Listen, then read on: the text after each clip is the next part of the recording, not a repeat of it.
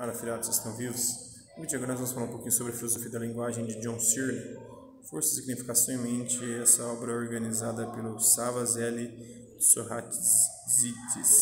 Editora Unesp. Essa obra aqui, ó. Eu acredito que as maiores realizações em filosofia nos últimos 100 ou 125 anos foram feitas na filosofia da linguagem, começando com Frege, que inventou o assunto, continuando com Russell, Wittgenstein, Keane, Austin e seus sucessores até os dias de hoje. É, não há nenhum ramo da filosofia com tanto trabalho de alta qualidade como é, a filosofia da linguagem, segundo John Searle, né? a filosofia analítica. Né?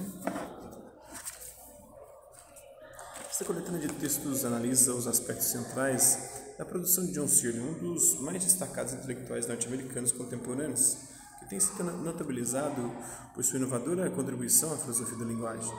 Composto por 12 ensaios, o volume discute o legado de sua obra e propõe abordagens inovadoras para questões da área. Prefácio do próprio autor abre a seleção de textos relacionando força, significação e mente ao conceito da intencionalidade, que é da fenomenologia. Né? Resumidamente, Sir apresenta seus conceitos centrais, ressaltando que entende a linguagem humana como uma expressão das capacidades pré-linguísticas de outras espécies de animais. O filósofo define que a linguagem é essencialmente social, não apenas de uma maneira antiga, mas também de uma maneira que torna a sociedade humana essencialmente linguística. A ligação-chave entre a linguagem e a sociedade é a noção de deontologia do né, viver. Subdividido em duas partes da mente a significação e da significação a força, os textos desta obra comentam outros conceitos centrais do filósofo norte-americano, como as questões sobre internalismo versus externalismo, é, a relativa prioridade do pensamento e da linguagem na explanação da intencionalidade e a distinção entre força e sentido na teoria da significação. Sem almejar esgotar o debate sobre a multifacetada produção de Searle, é, mas com o intuito de contextualizar. Oi? Estou já.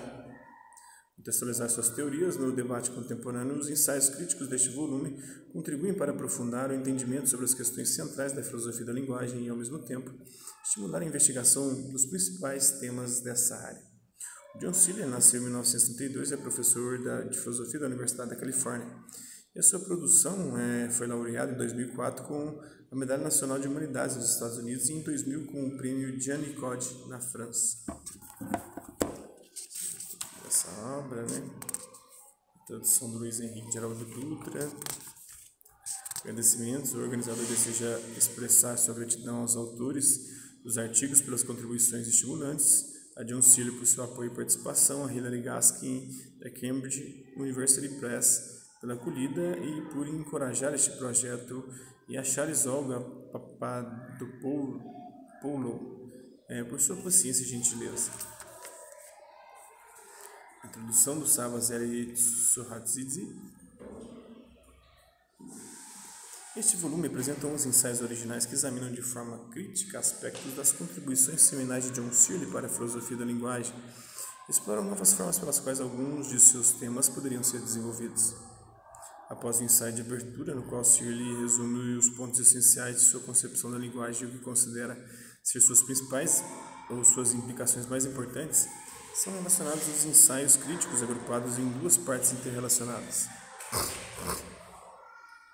Da mente a significação e da significação a força, que refletem a alegação de Searle que, é, de que uma análise da significação não seria adequada se não se pudesse integrar uma análise apropriada da, da força locutória e se não pudesse ser integrada uma consideração satisfatória acerca da mente. A concepção de Searle a respeito de como a força, a significação e a mente estão interrelacionadas forma parte da consideração geral acerca da intencionalidade, no sentido amplo de uma entidade dizer respeito a outras entidades distintas dela, que ele desenvolveu ao longo dos anos. O ensaio de abertura inclui um esboço acerca dessa consideração, enfatizando três ideias básicas. A primeira, a ideia de que a intencionalidade linguística não requer apenas a expressão de proposições e a existência das condições sobre as quais estas podem ou não ser satisfeitas, mas também a associação dessas proposições às forças locutórias de vários tipos, os quais determinam os diversos tipos de atos, asseverar, pedir, prometer, e, de forma característica, a posse de uma língua torna possíveis. Segundo a ideia de que, de forma semelhante,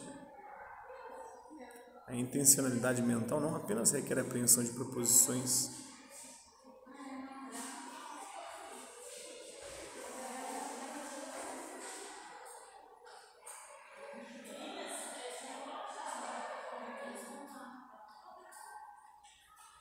e a existência de condições sob as quais estas podem ou não ser satisfeitas, mas também a associação dessas proposições aos modos psicológicos de vários tipos.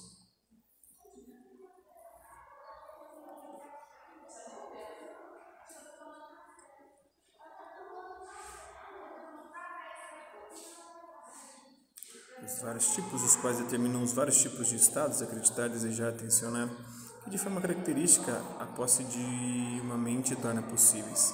E terceiro, a ideia de que a significação linguística deriva da instalação de procedimentos convencionais conduzidos pela comunicação por meio dos quais as condições de satisfação que têm as proposições mentalmente entretidas sob modos psicológicos diversos se tornam as condições de satisfação que têm as proposições linguisticamente expressas sob espécies diversas de forças ilocutórias por exemplo, procedimentos por meio dos quais as condições de satisfação das crenças se tornam as condições de satisfação de asserções, as condições de satisfação dos desejos se tornam as condições de satisfação dos pedidos, as condições de satisfação das intenções se tornam as condições de satisfação das promessas. Por aí vai. Isso aí. Espero que vocês tenham gostado do vídeo. Quem curtiu, dá um like, não curtiu, dá um dislike. Se interessar pelo conteúdo do canal, só se inscrever, ativar o sininho e aguardar os próximos vídeos e as próximas notificações. Deixe também seus comentários dizendo que você está dos vídeos, sugestões de temas e assuntos para serem abordados em vídeos posteriores. Colabore com o nosso canal, compartilhe os nossos vídeos e ajude-os a chegar ao maior número de pessoas possíveis. Gostaria de agradecer os 417 inscritos no nosso canal, agradecer também aqueles que ficaram outro por conta de um conteúdo ou outro.